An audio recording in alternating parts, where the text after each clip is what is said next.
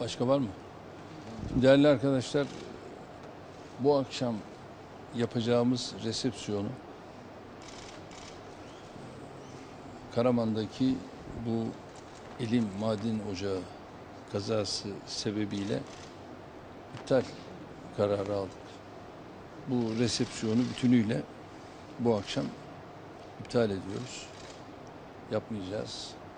Çünkü oradaki kazadaki tüm aileler, kardeşlerimizin yürek acısının devam ettiği bir şeyde, dönemde bizim böyle bir resepsiyon yapmamızı değerlerimiz açısından, geleneklerimiz açısından doğru bulmuyoruz. Onun için bu sene bu resepsiyonu yapmaktan vazgeçtik. Yapmayacağız. Bayramımızı tekrar kutluyorum, tebrik ediyorum. Ve şu anda da tabii orayı takip ediyoruz.